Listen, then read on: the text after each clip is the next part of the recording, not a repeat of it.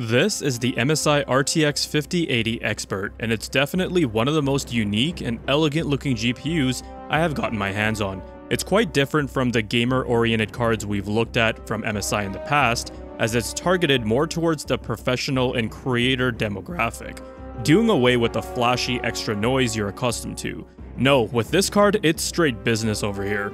We're going to be talking about this graphics card's design and aesthetics, and we'll also be diving into some performance numbers as well to see what it can do out of the box and how it performs overclocked. I'm pretty excited about this one, so let's discuss all that in this video. Hey, if you enjoy content like this, drop a like, make sure to subscribe, and smash that bell so you never miss another video. Hey, what is going on guys? Danny here, welcome back to the channel and I hope you've all been doing well. Today we're going to be taking a look at the MSI RTX 5080 Expert. MSI has released a bunch of variants based on the RTX 5080 GPU, and this expert model is a more premium design and what makes it unique is that it's not actually geared towards their usual gamer customer, but rather the professional segment. As for this overview, we'll be talking about the various aspects pertaining to this graphics card like the design that's similar to the RTX 40 series Founders Editions, its features, thermals, and a first look at performance to see what this card is really capable of. Stick around because this one actually gets pretty fascinating. Let's start off with an unboxing so you guys can see what to expect from the packaging and what's actually included inside. It comes in a fairly standard sized box and I'm not gonna lie the graphics or art style of the box is kinda deceiving with the multicolor scheme. Opening up the box and I'm pleased to see how the card comes protected with plenty of cushioning foam to prevent any damages during shipping and also wrapped in an anti-ESD bag. There's also a small accessories box and that will have your 12 VHPWR to 3 8-pin adapter, and along with that, a GPU stand. It'll do the job, but I'm kinda disappointed that it's a little flimsy plastic jack. Let's talk about what this card is packing under the hood. It uses Nvidia's Blackwell architecture and the GB203 GPU. Nvidia equips this card with 16GB of GDDR7 memory, running at 30GB per second, which delivers a huge 960GB of bandwidth. The Expert OC edition I have here features a factory overclock that pushes the boost clock to around 2.7 GHz, with an optional software toggle increasing it slightly more. Power consumption is rated at 360 watts, so MSI recommends pairing the card with at least an 850 watt power supply. In terms of display outputs, it consists of three DisplayPort 2.1b connectors and one HDMI 2.1b connector, supporting up to 4 displays and resolutions up to 7680 by 4320. Connection to your system is via the new PCIe Gen 5 X16 interface. Moving on and let's talk about aesthetics, design, and the build quality of the RTX 5080 Expert. The design of the RTX 5080 Expert is a significant departure from their typical gaming GPUs. MSI positions the Expert series between its gaming series and the flagship Vanguard series, and the aesthetic is intentionally modest. Instead of the plastic shrouds and light bars, the entire card is encased in a precision engineered die cast aluminum shell. The front half of the shroud is finished in a subtle champagne gold tone, while the rear half is matte black. This dual tone look combined with the minimalist MSI branding makes the card feel more like a piece of industrial art than a gaming product. There's no RGB here, a deliberate choice to appeal to the professional users who might not want a light show in their workstation. One of the most striking elements is the large geometric mesh on the front of the card.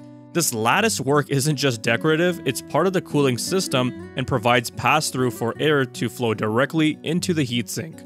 When I looked at it at a first glance in person, it reminded me of the bold grille on a high-end sports coupe, Think of the Mercedes C-Class or a modern Lexus, like the C300. Combined with the metal chassis, it gives the 5080 Expert a refined, automotive-inspired look that sets it apart from the usual gamer aesthetic, and I'm truly appreciative of that. I think they really knocked it out of the park with this design. Cooling is handled by MSI's Flow Frozr 2 thermal design.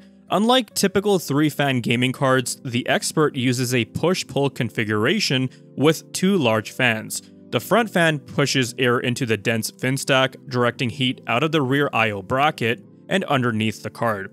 Meanwhile, a second fan on the back pulls air through the heatsink and out the open mesh grille. This pass-through design allows air to move straight through the card rather than circulating it inside your case, and it's one of the reasons why MSI claims they can use a fully enclosed metal shroud without compromising temperatures. Now that is something that does concern me, so we're going to be putting that to the test.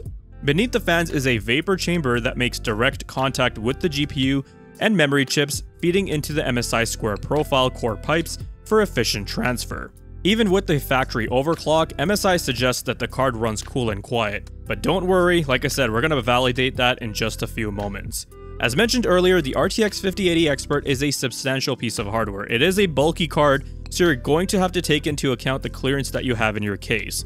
At 319 by 150 and 60 millimeters long, it's taller and significantly thicker than Nvidia's own Founders Edition 5080. The depth makes it effectively a 3-slot card, so you'll need to ensure your case and motherboard have enough clearance. It also weighs about 1.9 kilograms, so using the included support stand is highly recommended.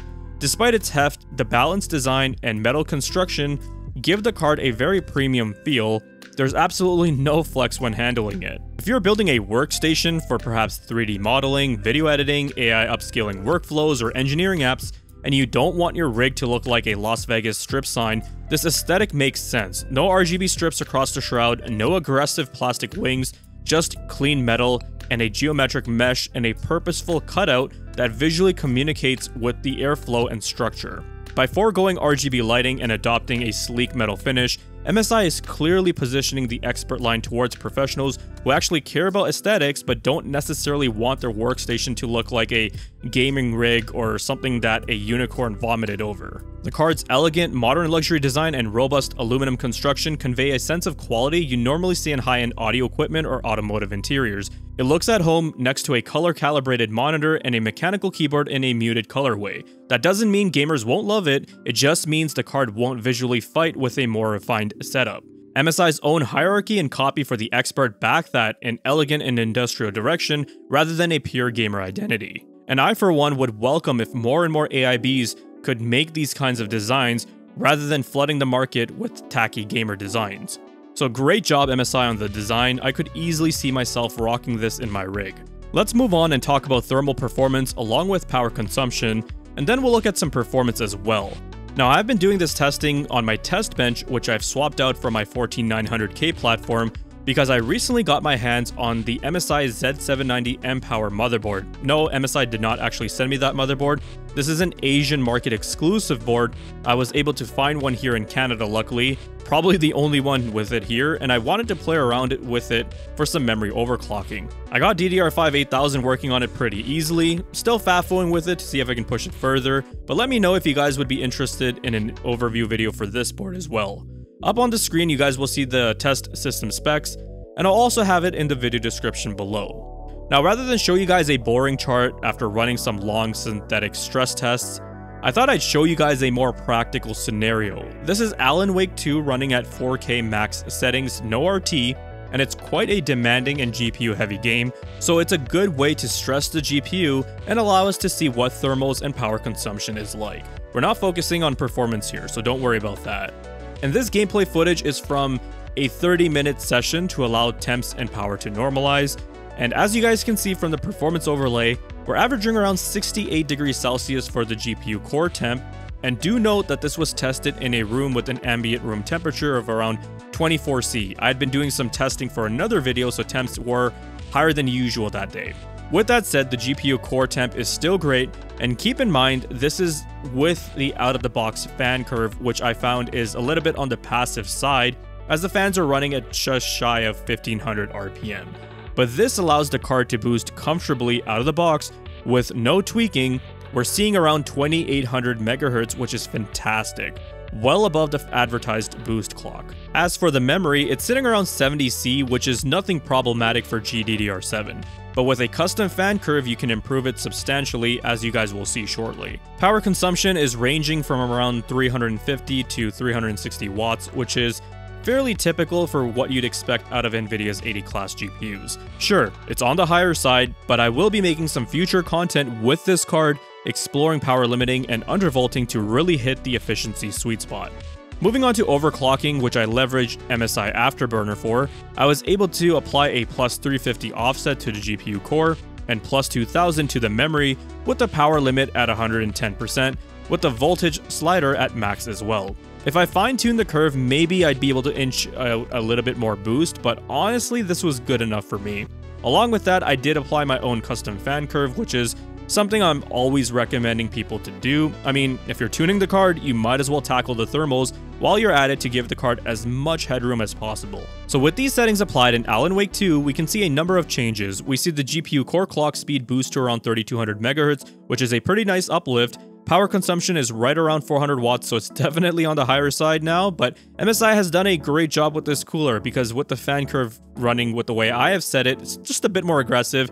We're getting cooler temps than we were out of the box, where now our GPU is running around 60C and the memory is also around the same temps due to that flow-through design we talked about earlier. So absolutely no issues, this cooler is doing a great job and that enables the user to take advantage of overclocking headroom. If you were concerned about this cooler's performance due to the previous iteration having sort of a bad rep, rest assured MSI has addressed those concerns.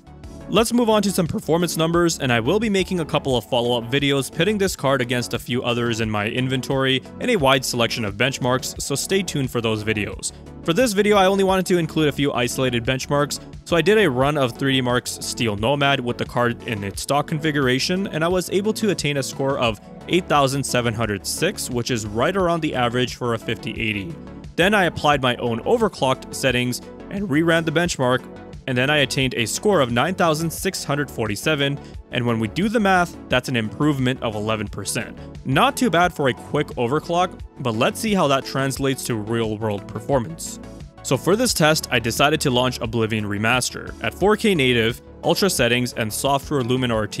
I tested this game using the stock configuration, which you'll see is on the left side, and the right side is with the GPU overclocked. I didn't realize how demanding this game can be at 4K.